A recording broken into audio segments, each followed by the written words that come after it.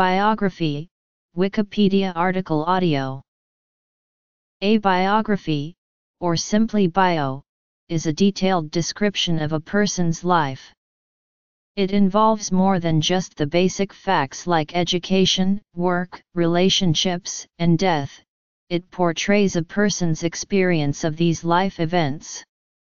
Unlike a profile or curriculum vitae, a biography presents a subject's life story, highlighting various aspects of his or her life, including intimate details of experience, and may include an analysis of the subject's personality.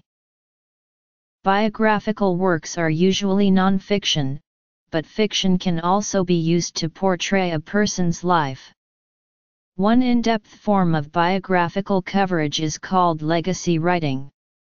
Works in diverse media, from literature to film, form the genre known as biography. History Historical biography An authorized biography is written with the permission, cooperation, and at times, participation of a subject or a subject's heirs. An autobiography is written by the person himself or herself, sometimes with the assistance of a collaborator or ghostwriter. At first, biographical writings were regarded merely as a subsection of history with a focus on a particular individual of historical importance. The independent genre of biography as distinct from general history writing, began to emerge in the 18th century and reached its contemporary form at the turn of the 20th century. One of the earliest biographers was Cornelius Nepos, who published his work Excellentium Imperatorum Vitae in 44 BC. Longer and more extensive biographies were written in Greek by Plutarch, in his Parallel Lives, published about 80 AD. In this work famous Greeks are paired with famous Romans, for example the orators Demosthenes and Cicero, or the generals Alexander the Great and Julius Caesar, some 50 biographies from the work survive. Another well-known collection of ancient biographies is De Vita Caesarum by Suetonius, written about AD 121 in the time of the Emperor Hadrian. In the early Middle Ages, there was a decline in awareness of the classical culture in Europe. During this time, the only repositories of knowledge and records of the early history in Europe were those of the Roman Catholic Church. Hermits, monks, and priests used this historic period to write biographies.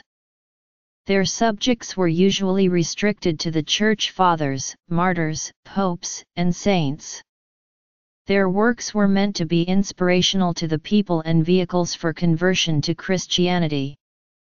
One significant secular example of a biography from this period is the life of Charlemagne by his courtier Einhard.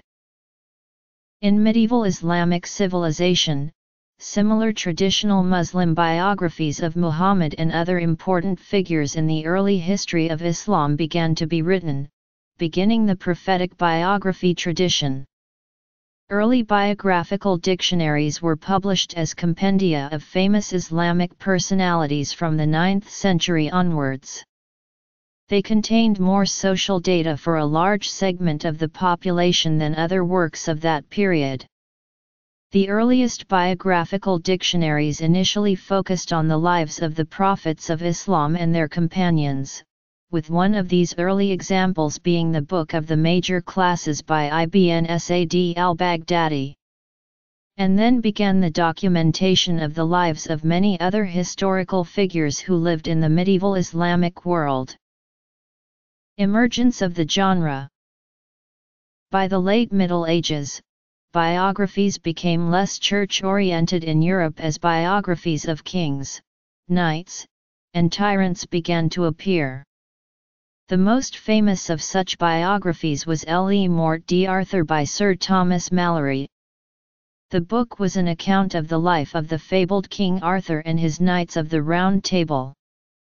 Following Malory, the new emphasis on humanism during the Renaissance promoted a focus on secular subjects, such as artists and poets, and encouraged writing in the vernacular. Giorgio Vasari's Lives of the Artists was the landmark biography focusing on secular lives. Vasari made celebrities of his subjects, as the lives became an early bestseller. Two other developments are noteworthy, the development of the printing press in the 15th century and the gradual increase in literacy. Modern biography Biographies in the English language began appearing during the reign of Henry VIII. John Foxe's Acts and Monuments, better known as Foxe's Book of Martyrs, was essentially the first dictionary of the biography in Europe, followed by Thomas Fuller's The History of the Worthies of England, with a distinct focus on public life. Influential in shaping popular conceptions of pirates, a General History of the Pirates, by Charles Johnson, is the prime source for the biographies of many well-known pirates. The American biography followed the English model, incorporating Thomas Carlyle's view that biography was a part of history. Carlyle asserted that the lives of great human beings were essential to understanding society and its institutions. While the historical impulse would remain a strong element in early American biography, American writers carved out a distinct approach. What emerged was a rather didactic form of biography, which sought to shape the individual character of a reader in the process of defining national character. Recent years The first modern biography, and a work which exerted considerable influence on the evolution of the genre, was James Boswell's The Life of Samuel Johnson, a biography of lexicographer and man of letters Samuel Johnson published in 1791. While Boswell's personal acquaintance with his subject only began in 1763, when Johnson was 54 years old, Boswell covered the entirety of Johnson's life by means of additional research. Itself an important stage in the development of the modern genre of biography, it has been claimed to be the greatest biography written in the English language. Boswell's work was unique in its level of research, which involved archival study, eyewitness accounts, and interviews, its robust and attractive narrative, and its honest depiction of all aspects of Johnson's life and character, a formula which serves as the basis of biographical literature to this day.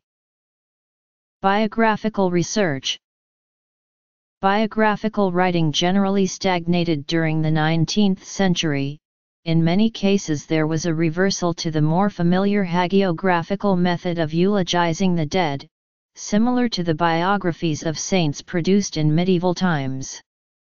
A distinction between mass biography and literary biography began to form by the middle of the century, reflecting a breach between high culture and middle class culture. However, the number of biographies in print experienced a rapid growth, thanks to an expanding reading public. This revolution in publishing made books available to a larger audience of readers. In addition, affordable paperback editions of popular biographies were published for the first time. Periodicals began publishing a sequence of biographical sketches. Book Awards Autobiographies became more popular, as with the rise of education and cheap printing, modern concepts of fame and celebrity began to develop. Autobiographies were written by authors, such as Charles Dickens and Anthony Trollope, philosophers, such as John Stuart Mill, churchman John Henry Newman and entertainers P. T. Barnum. The sciences of psychology and sociology were ascendant at the turn of the 20th century and would heavily influence the new century's biographies. The demise of the great man theory of history was indicative of the emerging mindset.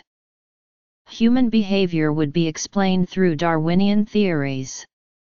Sociological biographies conceived of their subjects' actions as the result of the environment, and tended to downplay individuality. The development of psychoanalysis led to a more penetrating and comprehensive understanding of the biographical subject, and induced biographers to give more emphasis to childhood and adolescence.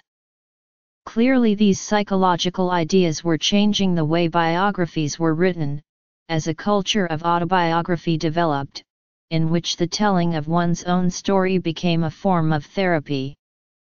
The conventional concept of heroes and narratives of success disappeared in the obsession with psychological explorations of personality. British critic Lytton Strachey revolutionized the art of biographical writing with his 1918 work Eminent Victorians, consisting of biographies of four leading figures from the Victorian era, Cardinal Manning, Florence Nightingale, Thomas Arnold, and General Gordon. Strachey set out to breathe life into the Victorian era for future generations to read. Up until this point, as Strachey remarked in the preface, Victorian biographies had been as familiar as the cortege of the Undertaker, and wore the same air of slow, funereal barbarism. Strachey defied the tradition of two fat volumes, of undigested masses of material and took aim at the four iconic figures. His narrative demolished the myths that had built up around these cherished national heroes, whom he regarded as no better than a set of mouth-bungled hypocrites. The book achieved worldwide fame due to its irreverent and witty style, its concise and factually accurate nature, and its artistic prose. In the 1920s and 30s, biographical writers sought to capitalize on Strachey's popularity by imitating his style. This new school featured iconoclasts, scientific analysts, and fictional biographers and included Gamaliel Bradford, André Maurois, and Emil Ludwig, among others. Robert Graves stood out among those following Strachey's model of debunking biographies. The trend in literary biography was accompanied in popular biography by a sort of celebrity voyeurism, in the early decades of the century.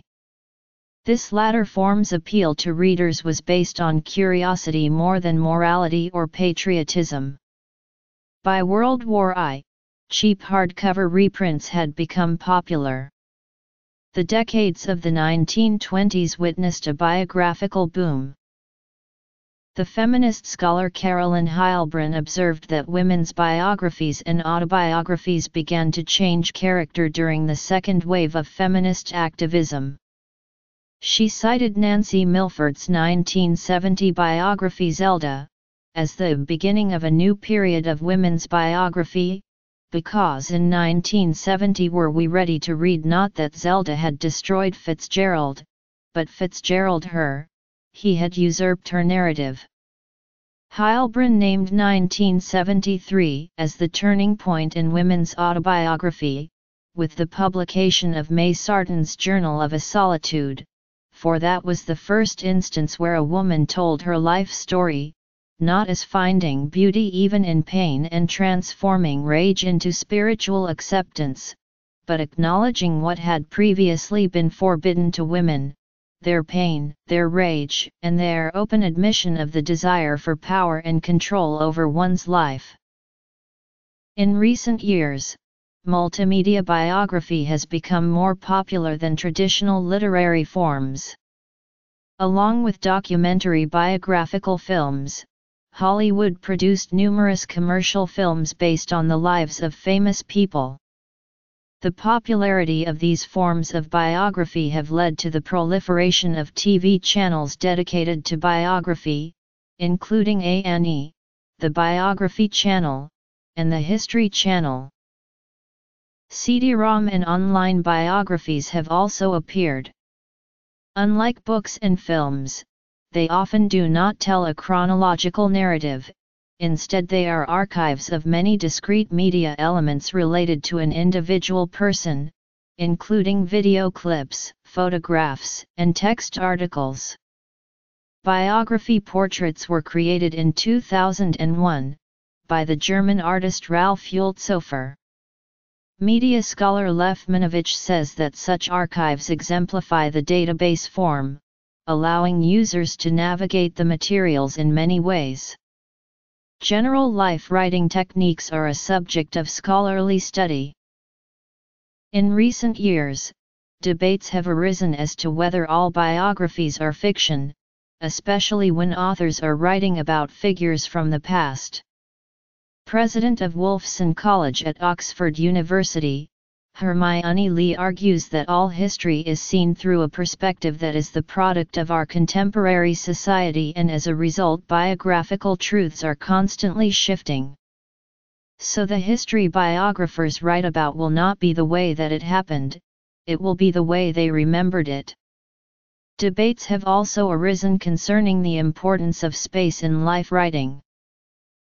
Citations Daniel R. Meister in 2017 argues that Drainie-Taylor Biography Prize Canada, National Biography Award Australia, Pulitzer Prize for Biography or Autobiography United States, Whitbread Prize for Best Biography United Kingdom, J.R. Ackerley Prize for Autobiography United Kingdom, Prix Goncourt de la Biographie France. Biographical research is defined by Miller as a research method that collects and analyses a person's whole life, or portion of a life, through the in-depth and unstructured interview, or sometimes reinforced by semi-structured interview or personal documents. It is a way of viewing social life in procedural terms, rather than static terms. The information can come from oral history, personal narrative, biography, and autobiography or diaries, letters, memoranda and other materials. The central aim of biographical research is producing rich descriptions of persons or conceptualize structural types of actions which means to understand the action logics or how persons and structures are interlinked and this method can be used to understand an individual's life within its social context or understand the cultural phenomena. Several countries offer an annual prize for writing a biography such as the Sources External links